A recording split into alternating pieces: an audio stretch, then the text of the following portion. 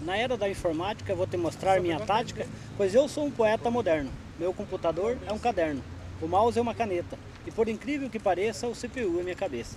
Já ouvi pessoas de valor perguntar se é um computador que tenho dentro do crânio. Com as poesias que fiz, confesso que sou feliz no meu modo de pensar. Vou fazendo meus poemas com carinho e dedicação, homenageando pessoas, amigos de coração. Na falta da inspiração, digo a todos uma verdade. Sempre faço uma oração ao meu Senhor de bondade. A inspiração logo volta, que bonita felicidade. Se gostarem do poema, o poeta agradece. Poesia é tudo de bom que para mim acontece. E esta é a minha maneira de navegar na internet.